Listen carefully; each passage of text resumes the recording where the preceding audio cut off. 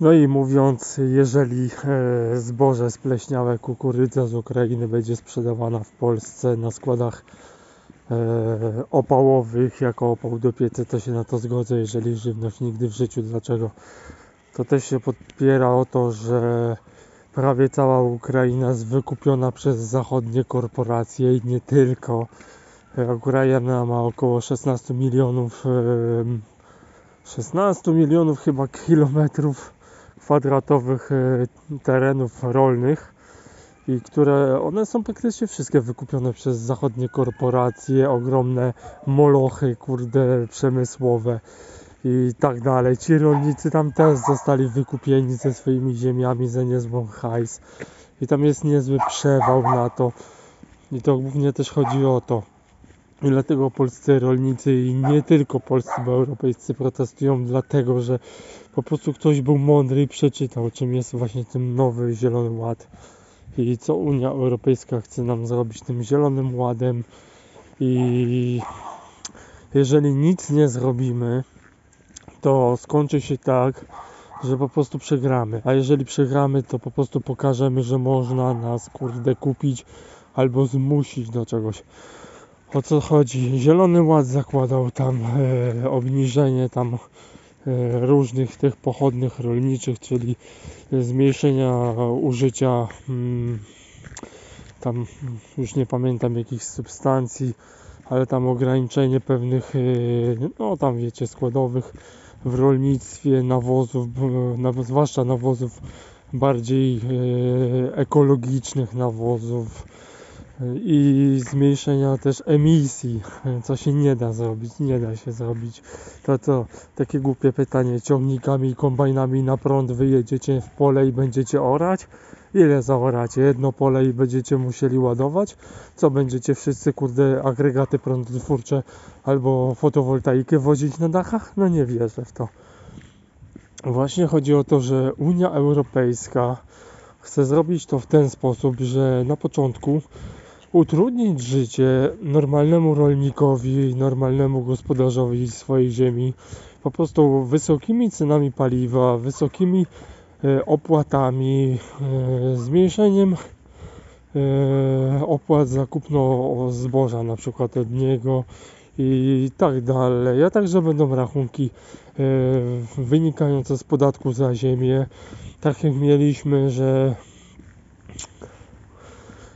że tam właśnie jak opowiadałem w Zielonym Ładzie 4% ugor macie tam, czyli dajmy na to, jeżeli ktoś ma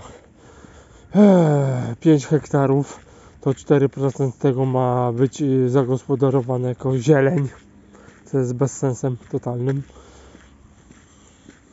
Jeżeli już to z 5 hektarów co najmniej połowa to powinno być zieleń żeby ta, bo chodzi mi o to, słuchajcie, zaraz mnie ktoś skrytykuje, to chodzi mi o to, że Zasada trzech. Jeżeli uprawiamy dwa pola, to jedno w tym czasie leży ogorem i se odpoczywa. 4% to jest praktycznie nic. To jest głupota unijnych urzędników. Wtedy po, po dwóch latach e, te dwa pola odstawiamy, żeby sobie ta ziemia odpoczęła na tych dwóch polach. Przechodzimy na te jedno, uprawiamy intensywnie to jedno Następnie odchodzimy od tego jednego, przesiadamy się na te dwa i tak w kółko. Ziemia odpoczywa w tym czasie, regeneruje się i ma siłę wyrodzić lepszy plon. O to mi w tym chodzi. A 4% to zaproponowała Unia Europejska, no to jeżeli macie prostokąt o bokach, dajmy na to 30 na 20, no to 4% to jest taki malutki prostokącik na tym całym większym polu i to jest yy, praktycznie nic. To jest bezsens po prostu. I póki jestem trzeźwy umysłowo, bo idę na noc do pracy, to właśnie chcę Wam powiedzieć, że to jest bezsens totalny. I po prostu kolejnym krokiem Unii będzie skasowanie rolnictwa. Czyli przejęcie ziemi przez zachodnie korpo, zautomatyzowanie gospodarstw, czyli sam autonomiczne traktory, autonomiczne kombajny, autonomiczne wszystko, czyli samo jedzie, samo zbiera, samo się rozładowuje i tak dalej. To jest cel Unii. i także oszołomów klimatycznych. I po prostu mięso z probówek, tak samo mięso z probówek, żeby krówki, kurki nie ginęły i tak dalej. Okej, to rozumiem, żeby to jeszcze było dopracowane. To samo ma się stać z sadownictwem. No. Ogólnie będzie niezły kocioł. Więc teraz mamy swoje 5 minut. Jeżeli teraz nic nie zrobimy, to pokażemy, że można nas zmusić, docisnąć nogą do podłogi, przyłożyć no, klamkę do łba i powiedzieć, no to frajerze przegrałeś i albo się podporządkujesz, albo cię odpierdolimy. No. I chłok.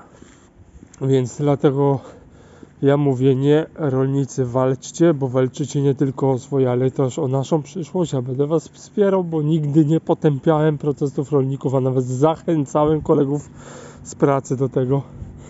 I mówiłem im, że Zielony Ład to największe gówno, jakie e, unijni e, pseudoeksperci mogli wymyśleć. I mam nadzieję, że ten film dojdzie do bardzo wielu ludzi i bardzo wielu ludzi zrozumie o co mi chodzi i poprze moje działania, bo poprzedni film musiałem usunąć dlatego, że YouTube się dopierdolił, bo ludzie to zgłosili. No i był mega, mega, mega problem.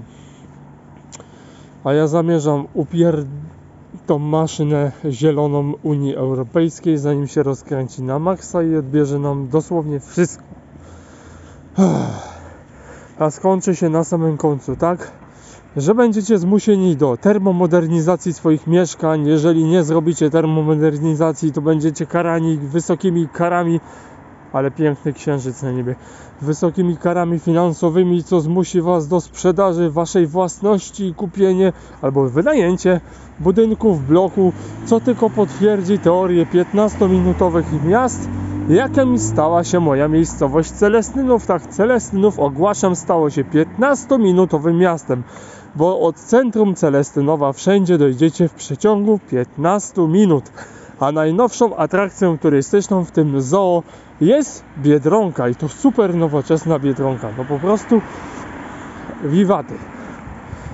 No więc dlatego ja Wam mówię, walczcie, bo walczycie o nasze, o swoje i o przyszłość swoich dzieci. Jeżeli nie chcecie walczyć o moje, o Wasze, to przynajmniej walczcie o przyszłość własnych dzieci. Pozdrawiam serdecznie i trzymajcie się. Piorun Burza Elektryk, naczelny inżynier tej miejscowości.